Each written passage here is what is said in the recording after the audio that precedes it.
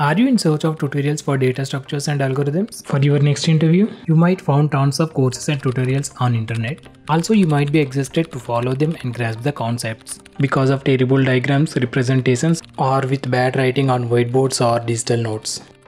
Don't worry, you found the right place to learn data structures and algorithms.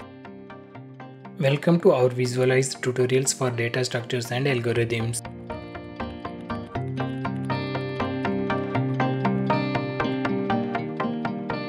Hi, my name is Tirupati Rao. I am an experienced web developer and author of BitBee.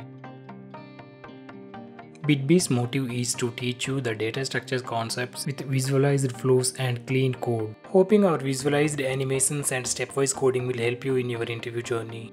In this course, we will include each and every basic data structure to advanced. For further videos and updates, please subscribe to BitBee.